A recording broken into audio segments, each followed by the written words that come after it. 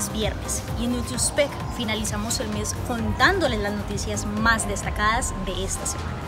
Comencemos.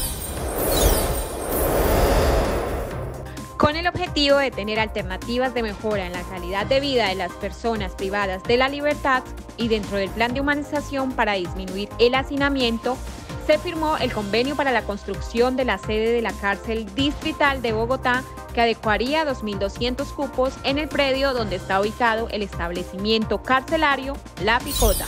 Va a servir para poder también desasinar eh, estaciones de policía y URIs yo digo que es una especie de mega obra.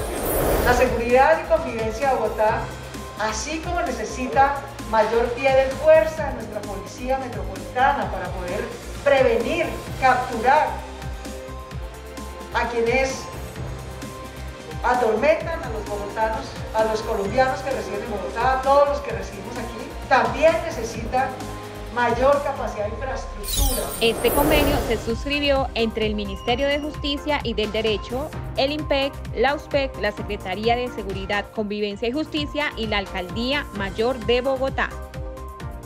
USPEC avanza en infraestructura. El contrato de interventoría al servicio de alimentación implementado por la USPEC inició su operación en los establecimientos de La Picota en Bogotá y La Tramacúa en Valledupar. Estas visitas se realizarán regularmente en distintos establecimientos de todo el país y en ellas se revisan condiciones higiénicas y sanitarias tanto de la infraestructura de los ranchos como de los procesos de manejo y producción de alimentos, así como el cumplimiento de estándares de calidad y gramaje.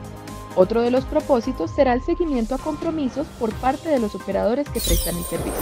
Recuerden que todos los viernes podrá estar enterado de las acciones que realiza la OSPEC para garantizar el bienestar de las personas privadas de la libertad.